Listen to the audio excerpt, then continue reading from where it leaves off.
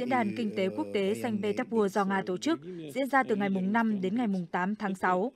Trong bối cảnh bị phương Tây cô lập, sự kiện là cơ hội để Nga quảng bá nền kinh tế trị giá 2.000 tỷ đô la Mỹ với những nền kinh tế lớn như Trung Quốc, Ả Rập Xê Út hay xa hơn là các nước châu Phi. Trong 4 ngày diễn ra diễn đàn, Nga với vai trò là nước chủ nhà đã tăng cường nhiều cuộc đối thoại bên lề với các quốc gia tham dự.